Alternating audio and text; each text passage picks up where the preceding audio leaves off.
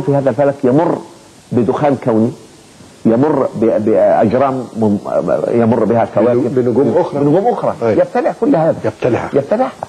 حتى يصل إلى كتلة حرجة ينفجر يتحول إلى من دخان وكأن الله تعالى يرينا عملية الخلق الأول في صفحة السماء أمام أنظارنا الآن. هكذا بدأ الخلق. هكذا بدأ الخلق. فيقسم به ربنا تبارك وتعالى لأنه من أعظم أجرام السماء. من أعظم أشياء السماء. فلا أقسم بالخنس. ونفي القسم في اللغة العربية توكيد للقسم. فلا أقسم بالخنس الجوار الكنس.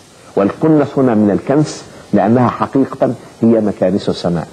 وأذهلني أن أجد عالما أمريكيا يصف هذه الحقيقة بقوله These are super giant vacuum cleaners.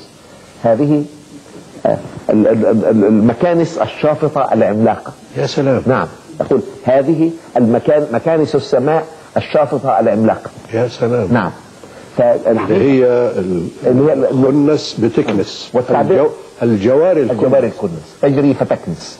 الجواري الكنس. كنس آه. والتعبير القرآني نجم خانس كانس أبلغ ألف مرة من أن أقول ثقب أسود. لأن الثقب يوحي بأنه فراغ. وحقيقة ليس فراغ. ده حالة متناهية التكديس للمادة. حالة مبالغ في تكديسها كيف أصفها بأنها ثقب؟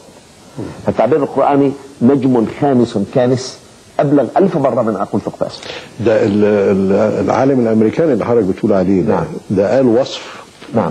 آه يعني أرجو إن أنا تغفر لي التعبير. أبدا. كأنه يقرأ الآية القرآنية دون أن نعم. يدري. نعم. مش كده نعم. برضه؟ نعم. نعم. إن اللي حضرتك بتقول عليه ده. نعم. ده قال وصف. نعم.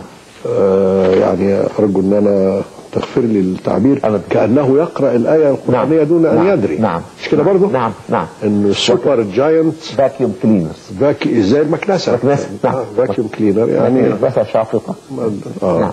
وكثير من حقائق القرآن الكريم يعبر عنها بعض العلماء والله كأنه نص التعبير القرآني زي إيه؟ زي إيه انت هتطلعنا من الموضوع لكن معلش لا لا ده إحنا ده كل ده في الموضوع. بس يكون سهل علينا شوية. اتفضل.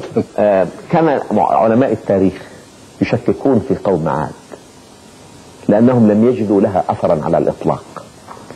ففي رحلة من رحلات الفضاء زود مكوك الفضاء بجهاز رادار له قدرة اختراق التربة إلى عشرة أمتار. فحينما مر بصحراء الربع الخالي صور مجرا لنهرين. يندفع جافين طبعا. مجرى يندفع من الغرب إلى الشرق وواحد من الجنوب إلى الشمال. فانبهر الأمريكان. الربع الخالي أكثر أجزاء الأرض كحوله وجفاف. به أنهار كانت به أنهار جارية. فزودوا المكوك في رحلة تالية بجهاز رادار له قدرة اختراق أكبر. فصور مجرى النهرين وأنهما يصبان في بحيرة قطرها يزيد عن 40 كيلومتر في جنوب شرق الربع الخالي. وأن بين مصبي النهرين وعلى ضفاف البحيرة عمرانا لا تعرف البشرية نموذجا له في ضخامته. فجمع علماء التاريخ وعلماء الآثار وعلماء الأديان ماذا يمكن أن يكون هذا العمران؟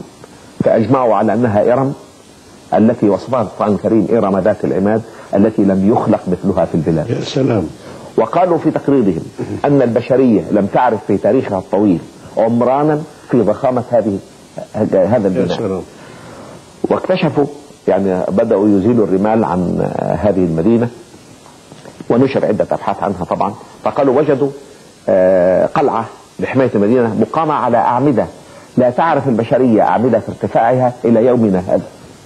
القرآن يقول إرم ذات العماد التي لم يخلق مثلها في البلاد. يا سلام سبحان الله. نعم. فأقول بعض الاكتشافات العلمية حقيقة تنطق بما في القرآن الكريم دون أن يعلم العلماء شيئا عنه. نعم نرجع حضرتك تاني. رجعنا تاني. يعني إحنا بنقول الآيات الوصفية. نعم. حضرتك قلت إنه ما يتعلق بالخلق والإفناء نعم. وإعادة الخلق. نعم. آه يعني أنا بفكر نفسي والمشاهدين الفضلاء بال- نعم. بما قلنا آه، بتبقى دي صور بتدور حول فروض علمية. نعم.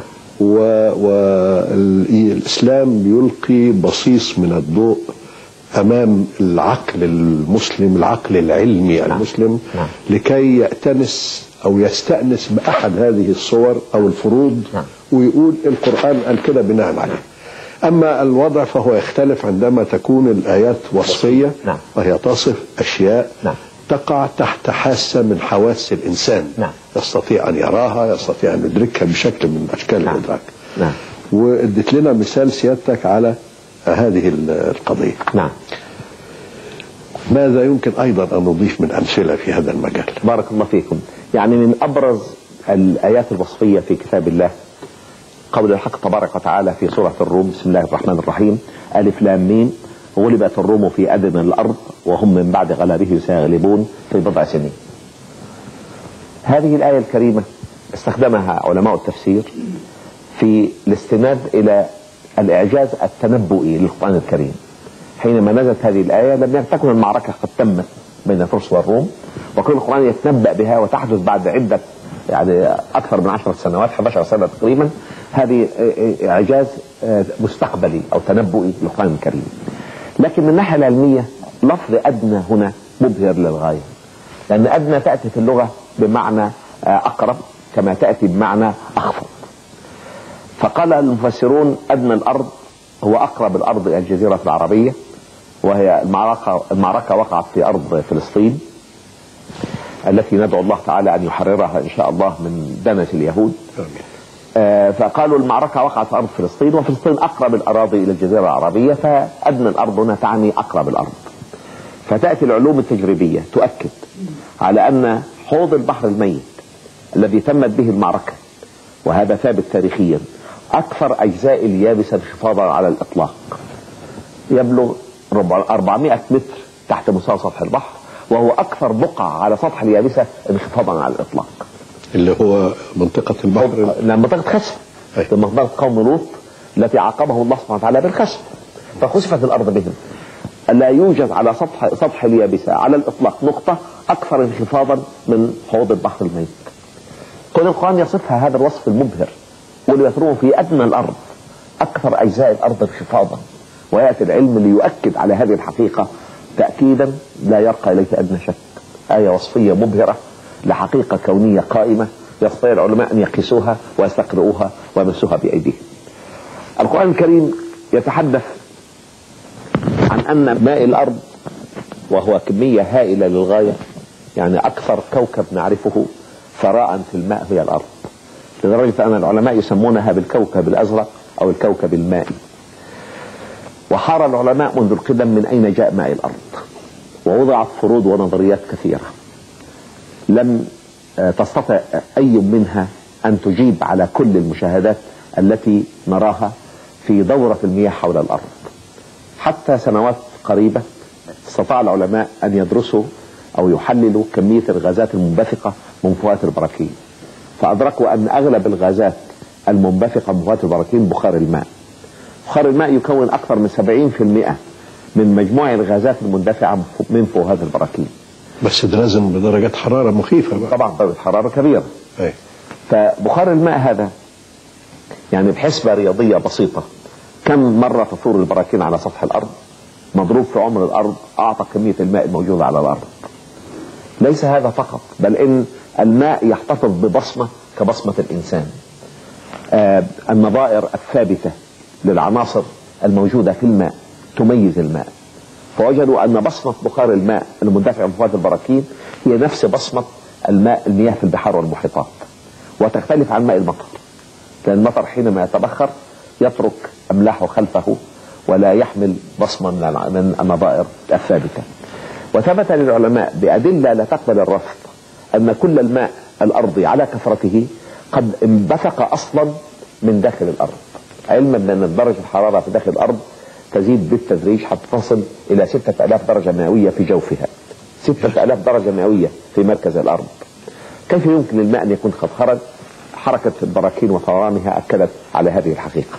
القرآن الكريم يكرر أو يقرر هذه الحقيقة في آية مبهرة حينما يقول رب العالمين والأرض بعد ذلك دحاها أخرج منها ماءها ومرعاها. البدوي على عهد رسول الله صلى الله عليه وسلم يسمع هاتين الآيتين الكريمتين فيقول أن تنشق الأرض عن الينابيع ويرى الإنسان الماء يندفع من, من داخل الأرض. قد أخرج منها ماء العيون والينابيع. ومرعاها ينزل المطر فتخضر الأرض فقال أخرج منها ماءها ومرعاها انفجار الينابيع وخروج ال ال الأعشاب بعد سقوط المطر. فيأتي العلم التجريبي ليؤكد على أن كل ماء الأرض أخرجه ربنا تبارك وتعالى أصلا من داخل الأرض. ويعبر عن آه، المرعى أو يعبر بالمرعى عن غازات أخرى تخرج من فوهات البراكين مثل ثاني أكسيد الكربون وبعض أكاسيد النيتروجين وهي غازات لازمة لحياة النباتات. النبات لا يستطيع أن يبني جسده أو أن يبني ثماره ولا أزهاره ولا سيقانه ولا أوراقه في غيبة ثاني أكسيد الكربون لأنه اللبنة الأساسية التي يستخدمها النبات في بناء جسده في بناء هيكله في بناء ساقه مع أملاح الأرض ويعني المعادن في الأرض والماء وأشعة الشمس. فالقرآن يعبر بذلك بتعبير دقيق والأرض بعد ذلك